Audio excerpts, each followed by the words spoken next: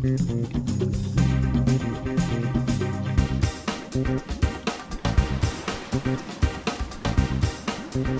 on the show, many times I've shown these exercises. I have a lot of people that come to us and say, Jason shows me exercises, I'd like him to show me how to put them together. First of all, let me say this, this is how we make a living.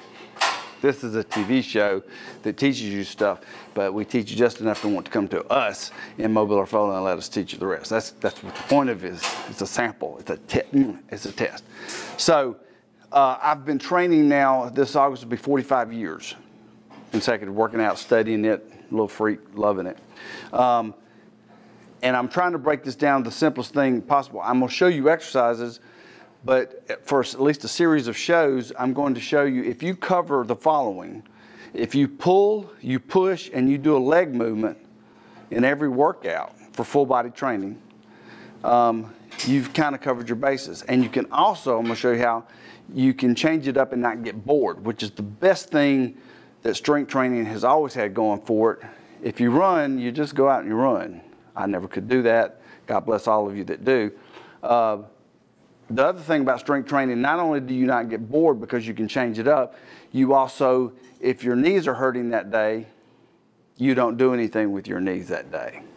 And there are machines in the gym where you can literally work your, your butt, your inner, your outer thigh, and never move your knee joint, right? There's ways to work calves that has nothing to do with your knees. So, but what we're showing are compound movements for the next many shows. I don't know how many, until I get bored with this. And we're going to start with this is a neutral grip chin up, assisted chin in, in this case, because I'm going to try to do them slow. I don't want me jerking on TV, and I'm going to show trainers and stuff doing it like I do. Uh, you can do this on a pull down machine too. My favorite grip is the neutral grip. You can also do a regular overhand grip, um, but this is easier on your all your joints, your wrist, your elbows, your shoulders. Uh, it's just an easier movement on your joints. So especially I'm talking to folks well, I'm almost 60, but people over 40 start having joint issues. People over 30, if you were jock like me, you, you might have shoulder problems. So this is a great way to do this.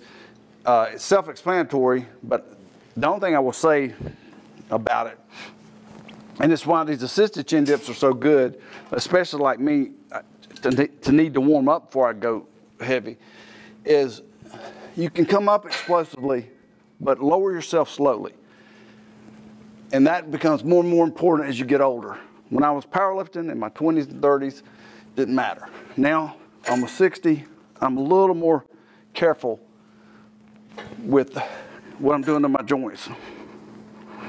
You will also find by doing this slowly on the way down, by the way, on the way down is called eccentric. There's concentric, eccentric for those that care. Uh, you can really uh, get in touch with the muscle.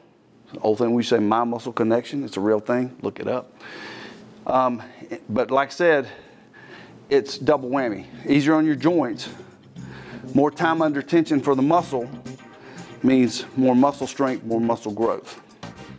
And yes, ladies, even you want muscle growth.